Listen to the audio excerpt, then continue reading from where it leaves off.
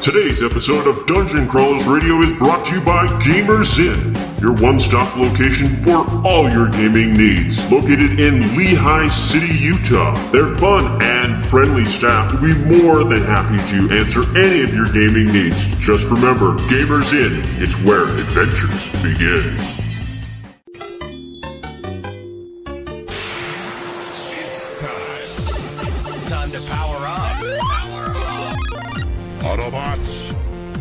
Roll! Broadcasting live from the DCR studio. Oh yeah! The Geek Revolution starts here. Excellent! Get ready for the number one hit geek radio show out there Well, it is impressive, isn't it?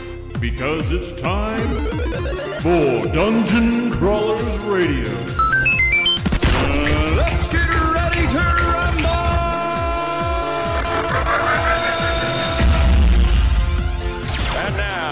Moment you've all been waiting for.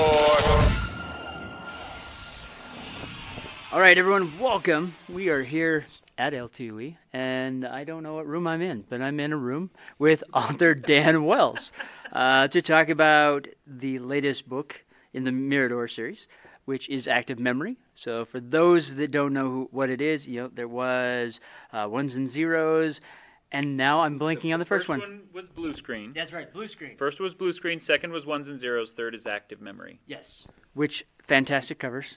I love how each one has a different color that kind of stands out. Because we had blue, we had orange last one, and this is kind of green now.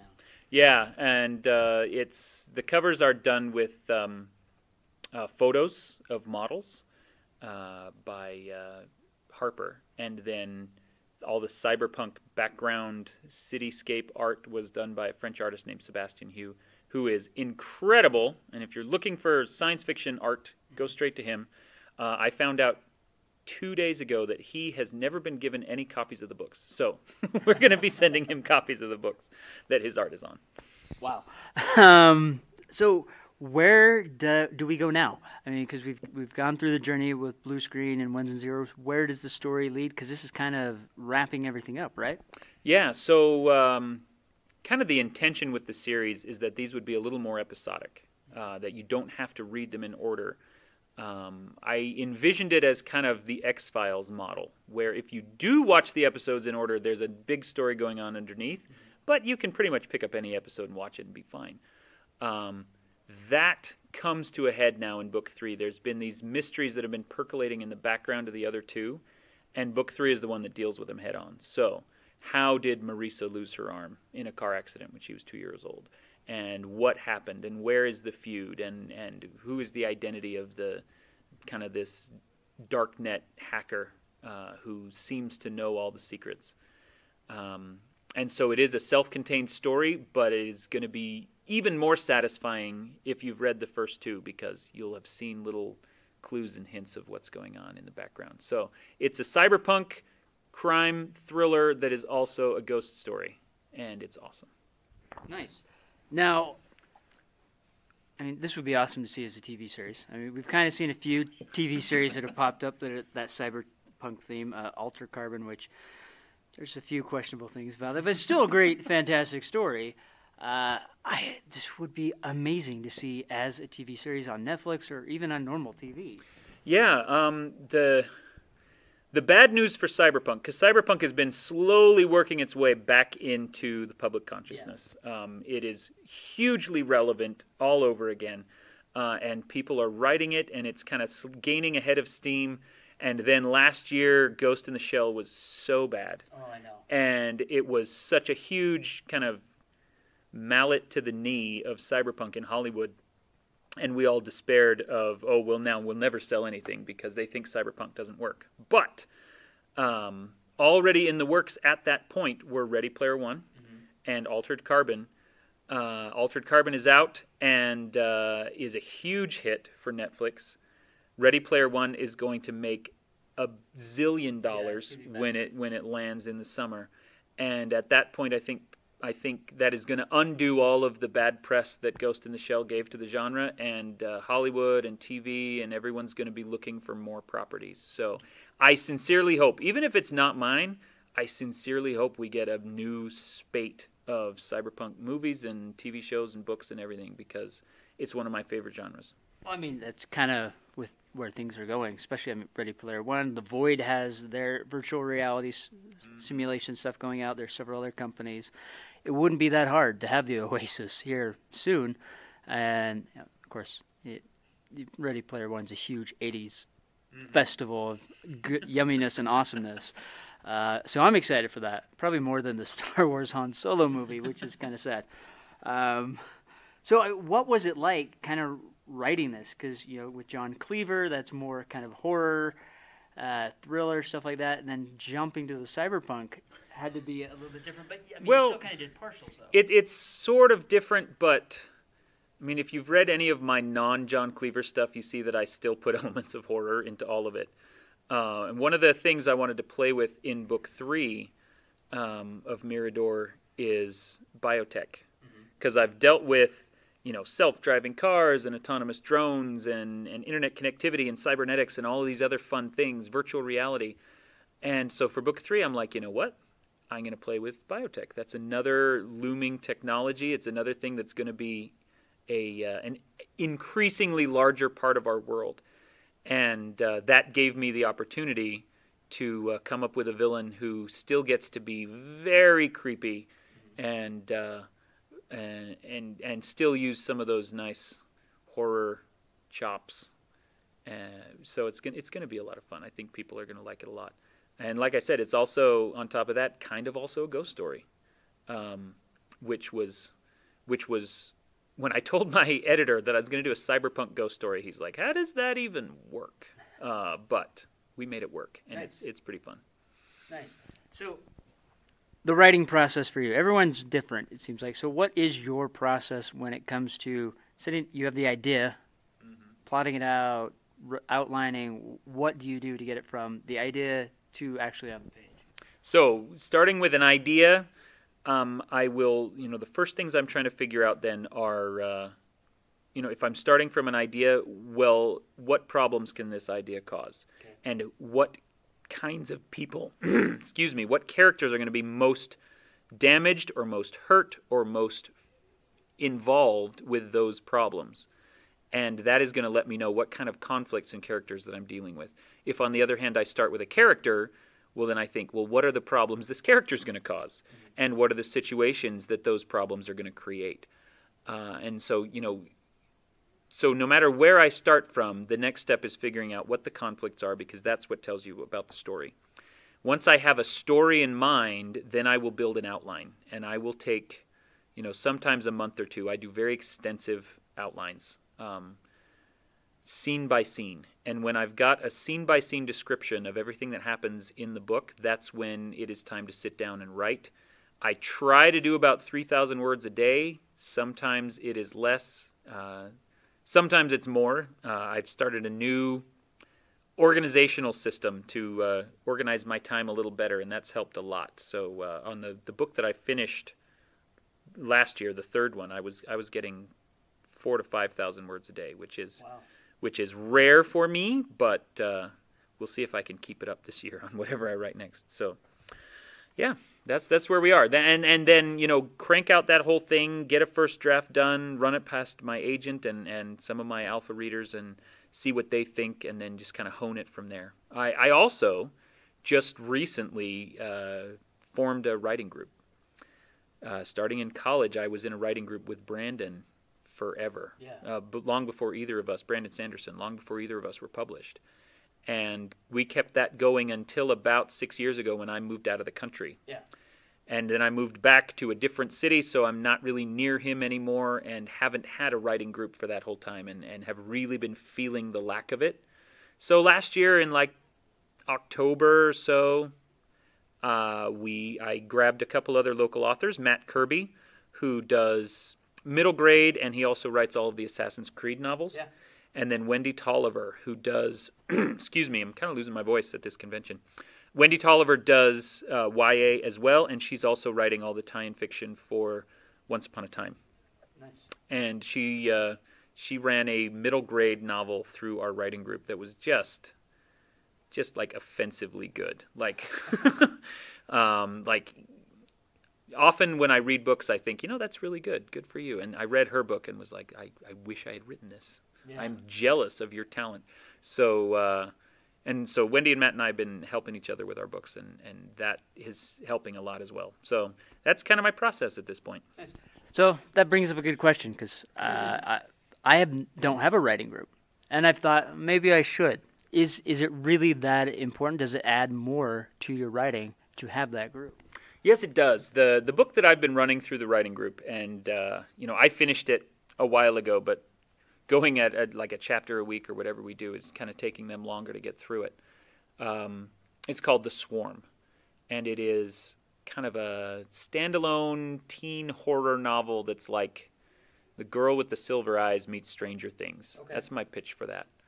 Uh, psychic kids in Denver fighting monsters.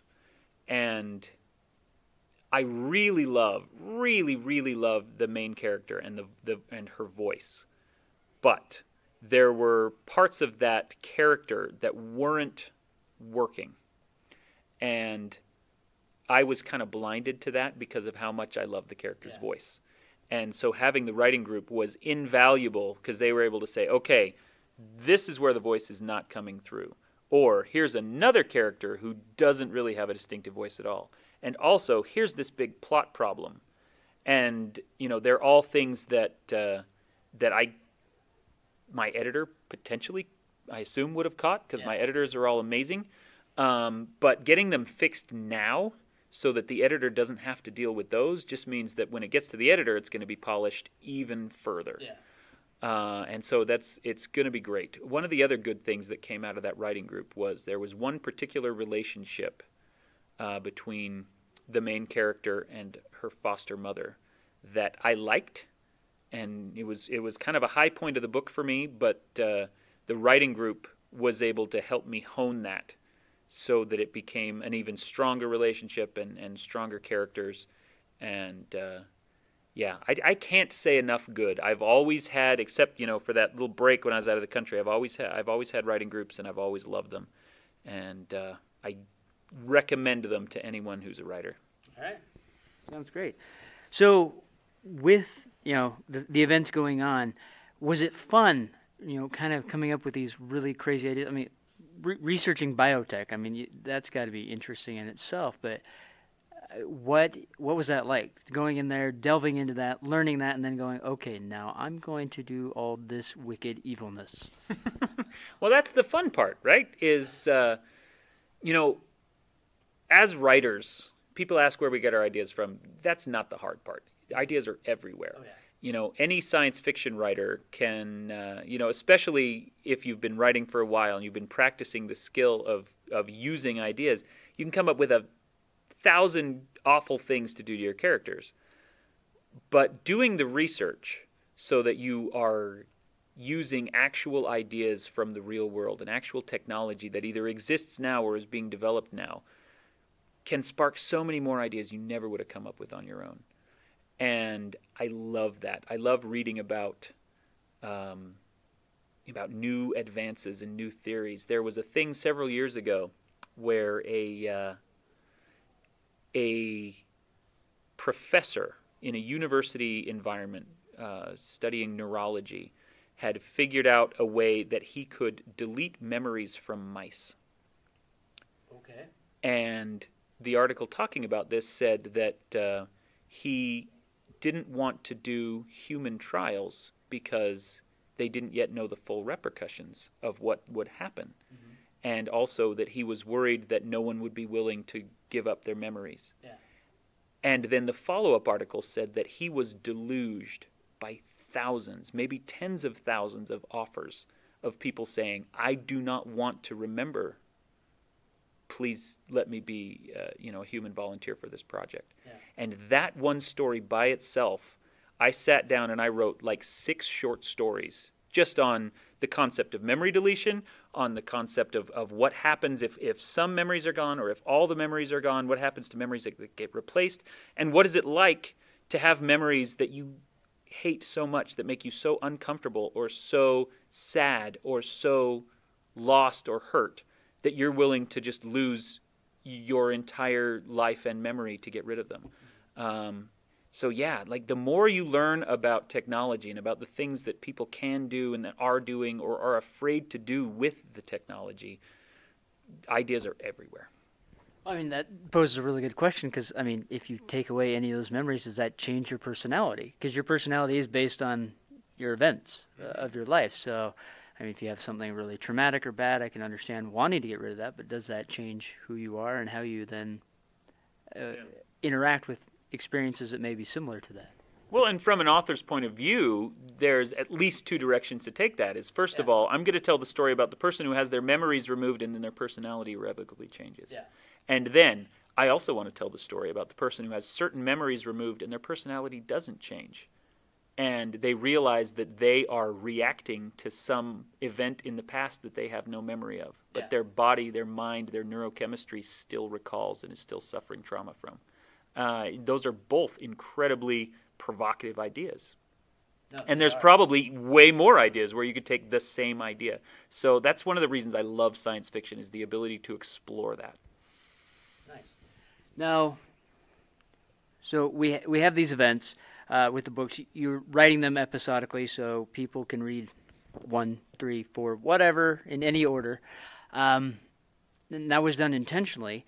Have the the readers kind of enjoyed that that they could just jump in wherever and it doesn't matter. I mean, or or maybe you don't know.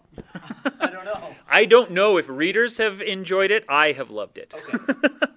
Uh, because my goal with uh, Mirador was to make them episodic so that I could sell them in any order. Um, because I hate, and every author hates this. You know, if you have a new book out and you're doing a signing in a bookstore, and somebody comes up and is like, "I loved the the little talk you gave. I loved the reading. I'd like to buy that book," and you're like, "Well, that's actually book two of a series." and so you have to buy book one. Or even worse, that's book two of a series and they're sold out of book one. Yeah. And then you just lost the sale. And so series are great for reader loyalty because readers love it. Um, I, I just did a, a little coffee clutch with a group of people and we're talking about, um, you know, the way that publishers and readers and authors all kind of perceive series differently. And, and one girl in the group said, you know, speaking as a young adult, I want to let you know that I want all series to be like 10,000 books long because I, I love the characters and I want to read as much as I can about them. And so, yes, we love writing series for that reason. Yeah. But I also want to be able to, you know, hand anybody any of the books and say, here, you can start here, and it's a great story. No, I mean it's definitely that's one of the things that's always frustrating. You know, especially like, hey, this book looks very interesting. You start perusing through it, and then you're like, find out it's four of twelve or four or something, and you're like, uh, and then you go look. Sometimes they don't always have. Maybe they have three and one, but not. They're missing book two, and then you're like, ah, and you skip Yeah. it. Well, and I've also run into the case where I pick up books. Often this happens at a convention where there's, you know, like the free book table or a swag table Yeah. or, uh, um, you know, friends of mine who are selling their new book. And I'm like, oh, yeah, I'll pick up your new book without realizing it's actually book two. And I'll get halfway through and think, this is really intriguing world building the like all the things that she's not telling me about her fantasy world and then halfway through i'll realize oh that's why. It's because it's book two of a series. Um, and sometimes that pays off. Uh, like I read uh, book two of a s- fantasy series by Carrie Patel, that, uh, and I can't remember the name of it right now, but uh, it was about subterranean cities and uh, really enjoyed it. Even though it was book two and I didn't realize it was book two, like I said, the, the world building was intriguing to me because of how much wasn't being explained. And so it was kind of kind of piquing my interest as a, as a world builder and as an author to kind of figure out what the secrets were. Um, but then I've also read other books where you kind of get into that same mindset and you're like, oh, this is kind of intriguingly written. And then you realize that the mysteries are never going to be explained because they were not intended to be mysteries. Uh, and so it, it can be occasionally good and occasionally very frustrating. Awesome. Well, it looks like they're going to kick us out of the room. Yeah, I, we don't know what room we're in, but somebody else does and wants it. So So if you haven't already, check out the Mirador series. Pick up uh, if you have, you know, blue screen and ones and zeros. Pick up uh, Active Memory. If you haven't, pick up all, pick up all three. You got a whole series now you can read, uh, which is even better. And Dan will love that. Uh, so pick up pick it up. Uh, if you're um, you're not here at LTUE because you're not going to hear it at the same time. Uh, but uh, where can they find you?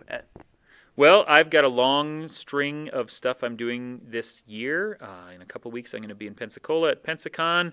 Uh, soon after that, I'm going to Silicon Valley Comic Con, and then uh, I don't remember off the top of my head all, all the other events, but they're on my website, thedanwells.com. I have my events page there. I try to keep it uh, updated as soon as I get a new event, and I've got at least one major convention every month this year. So, including I'm going to Argentina in May to the Buenos Aires Book Festival. So, if you're in Argentina, come see me there. Uh, and make sure it is the Dan Wells, because otherwise you might find some supermodel. Yeah. So pick up Active Memory. It's going to be a great book. In fact, I'm going to go get my copy now. And uh, we'll catch you next time. You're listening to Dungeon Crawlers Radio. Please subscribe and follow them on Facebook or Twitter, precious. No, we're even promoting these filthy idiots. Who doesn't like them? Who doesn't like anyone? No, they're our friends, precious, our friends. No, shut up. Please subscribe.